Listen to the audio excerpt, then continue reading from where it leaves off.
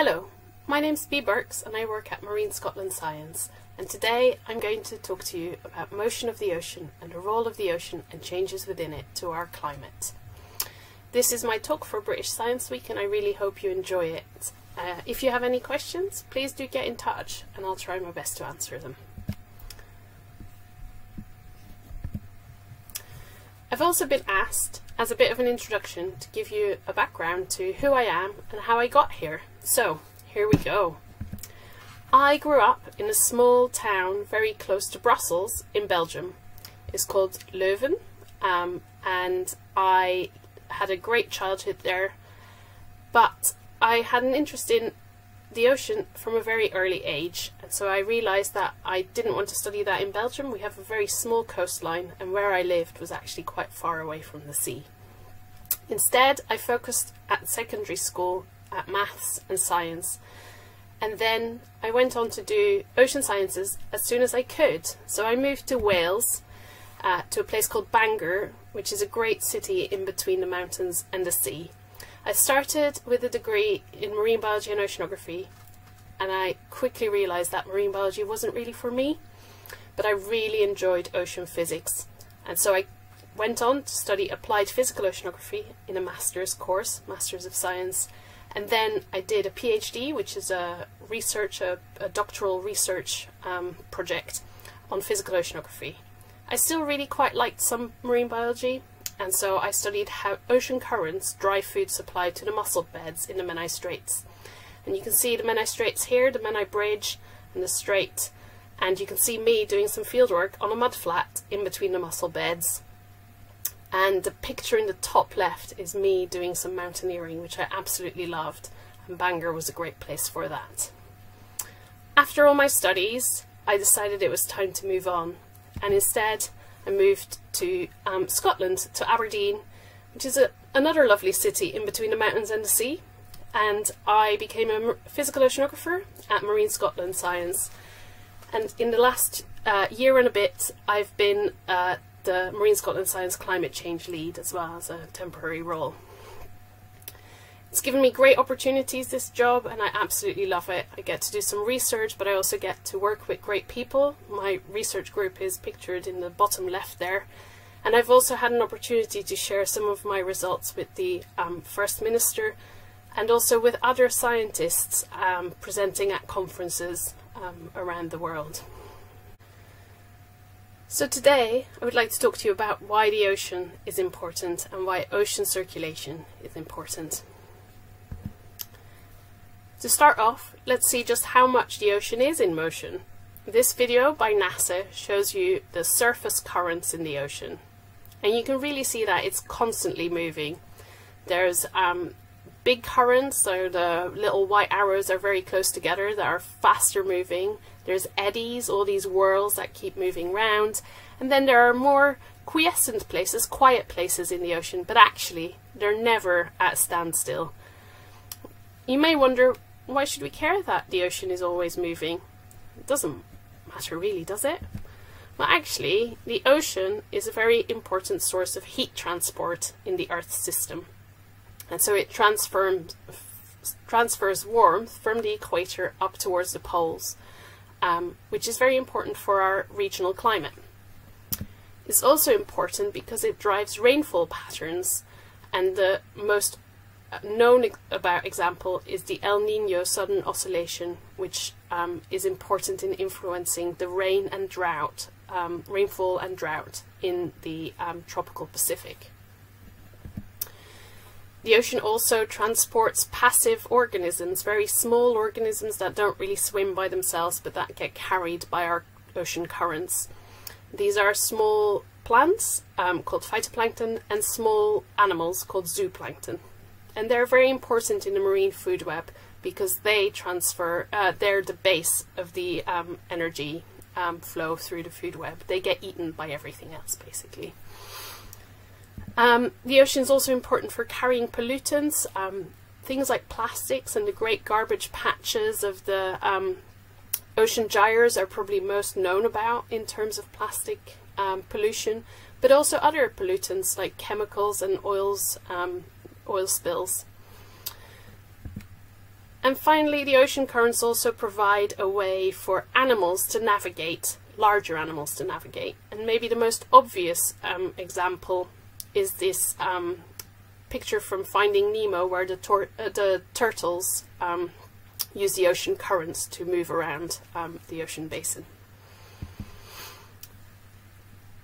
So now that we've decided the ocean is actually quite important, what does it mean for Scotland and for our climate? So these are monthly mean air temperatures between 1990 and 1999 at three places. In the red is Lerwick in Shetland, in blue is Magadan in Siberia, and in black is Anchorage, Alaska. And what you can see is that even though these three places are at exactly the same latitude, and so they should have roughly the same climate, the climate in Lerwick is actually much milder than that of the other two locations. And that's because Lerwick is on the edge of this um, ocean circulation system in the Atlantic Ocean called the Atlantic Meridional Overturning Circulation. This circulation system brings warm waters northwards and is really important in driving our regional climate.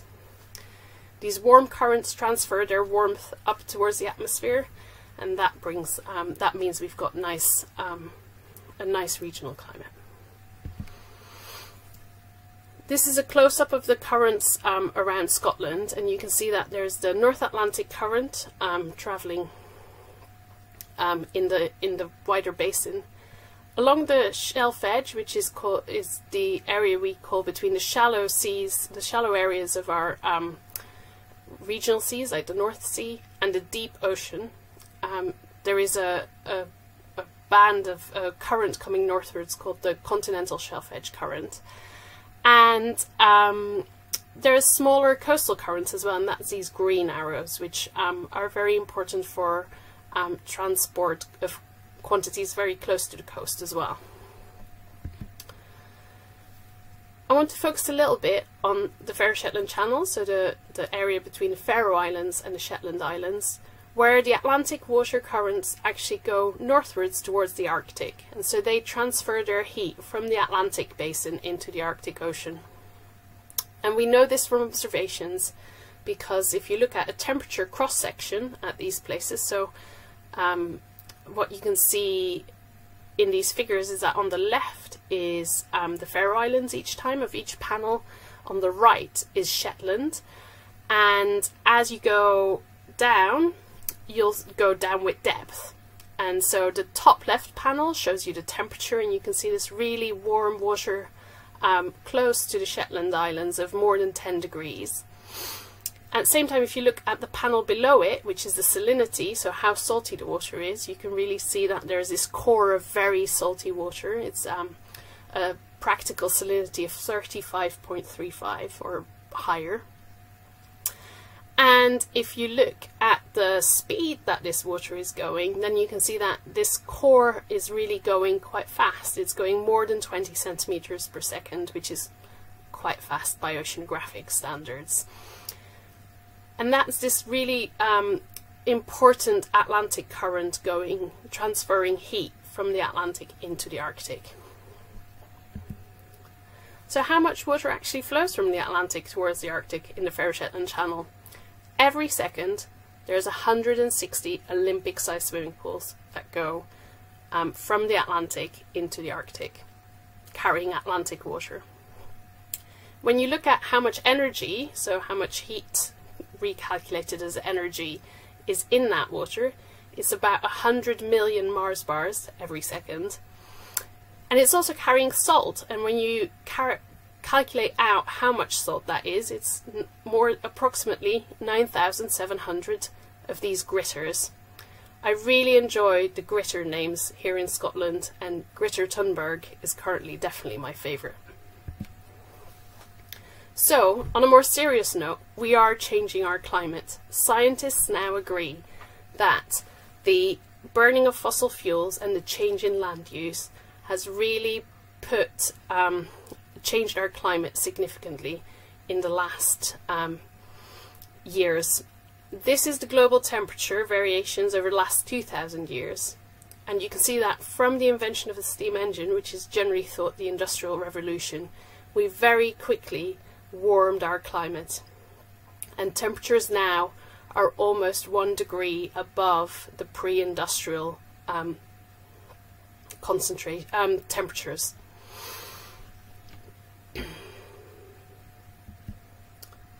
and that's due to the greenhouse gas effect.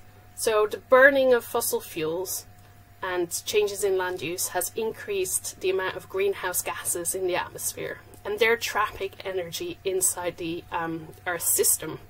That's causing an energy imbalance. Scientists have calculated out what this Earth energy imbalance actually is, and you don't really need to worry too much about the numbers here.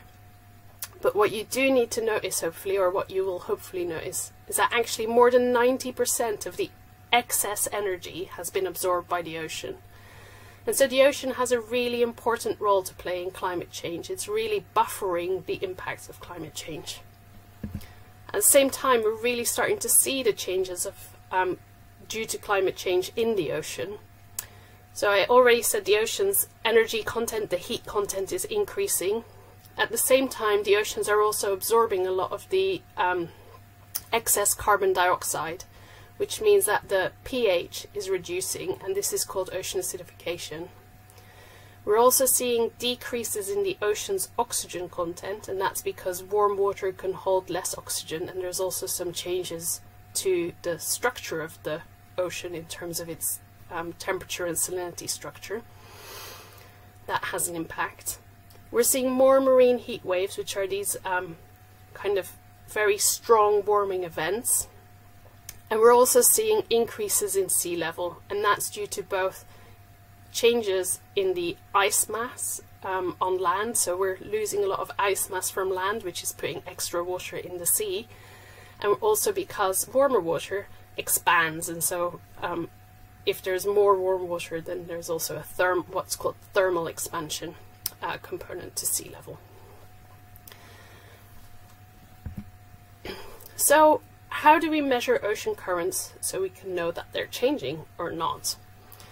Let me take you through a little tour of the oceanographer's toolkit. So we go out quite often on research vessels and this picture on the top left shows you um, the Scotia, which is Marine Scotland's research vessel. We go to places in the sea, um, generally the same places and you can see some of these on the map below and there we measure the temperature and the salinity by lowering instruments on a crane to the seabed and back up. And at the same time we'll take some water samples too to measure some quantities that we can't really measure with sensors yet. We can also put our instrumentation at a fixed point and the other three pictures on this um, slide show you the um, way we measure currents. So we measure currents by either some single point measurement systems like the strings out on the deck on the right, top right, or we can put instruments out that send out an acoustic single, signal, so a little noise, and then they listen back for its reflection and they um, measure the current speeds as well.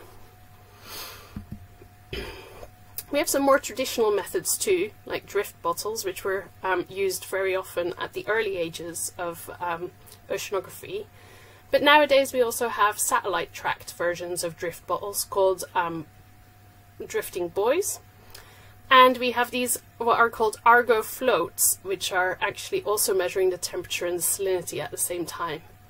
And you can see on the map the Argo float array. So this is how many of these little floats are drifting around at each um, month between um, whenever the simulation started and we're now in about 2014 here.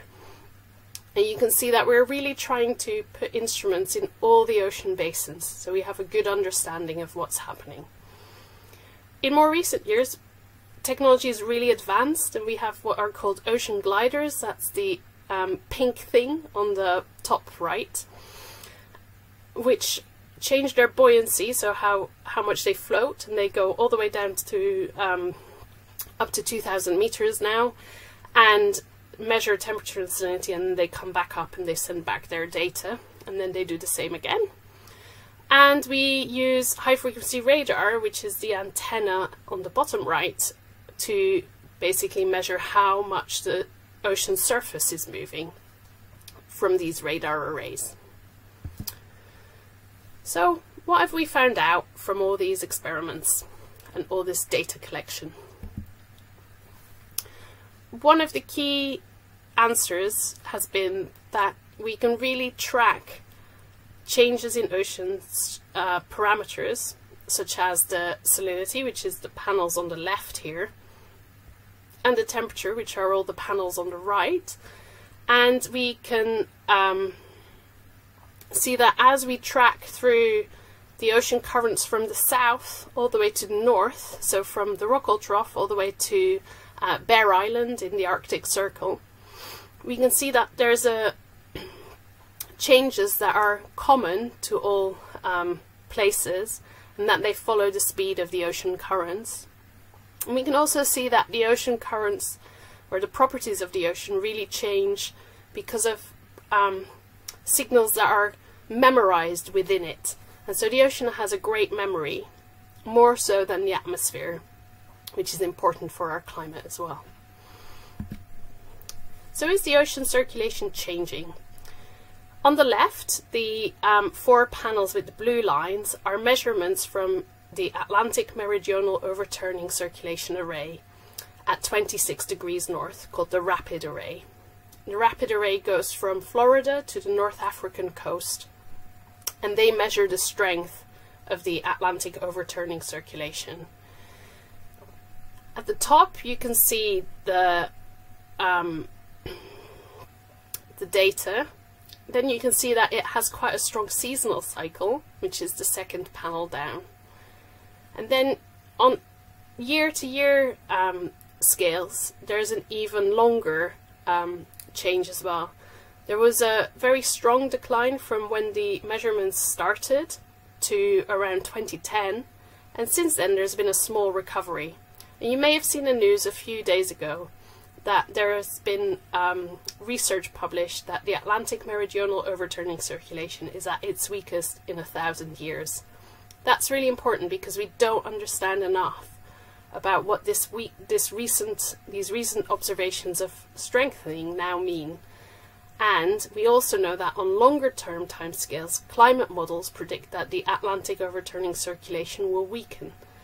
So we will need to really keep studying um, the circulation patterns to understand what that means for our climate.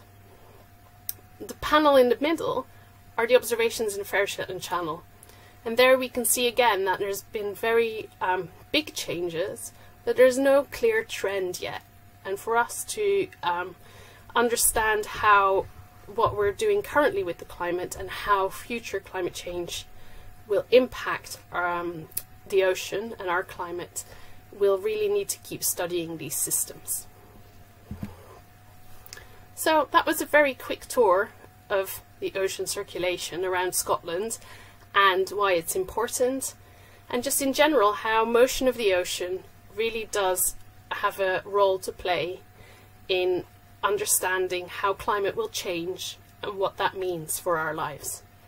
I hope you enjoyed the talk. If you have any questions, as I said, feel free to get in touch and um, all the best.